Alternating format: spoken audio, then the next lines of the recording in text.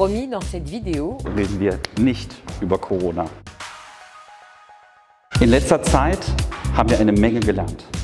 Gemeinsam mit unseren Partnern haben wir neue Austauschformate entwickelt und wir haben unser Förderangebot flexibilisiert. car on le sait, les échanges permettent aux jeunes d'élargir leur horizon, de développer de nouvelles compétences, facilitent leur insertion professionnelle.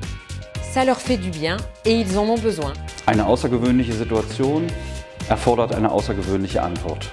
Und so haben wir einen Plan entwickelt, einen Plan de Relance, pour rétablir la confiance dans les échanges internationaux de jeunes. Et ce, avec plusieurs mesures phares.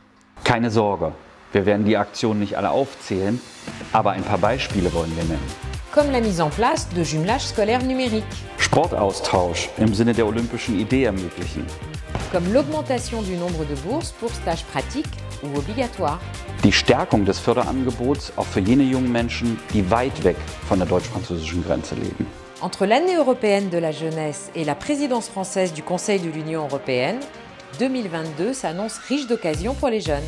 Denn Europa muss für jeden jungen Menschen eine einzigartige Chance sein, unabhängig von der Herkunft, vom Wohnort oder vom Geldbeutel der Eltern.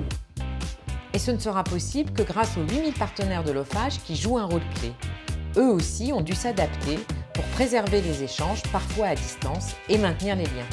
À vous tous, nous vous souhaitons une belle année 2022, qu'elle soit riche d'expériences, de découvertes et d'échanges bien sûr, même par écran interposé et malgré le co Ups, fast hätten wir es gesagt. Ein frohes und gesundes neues Jahr.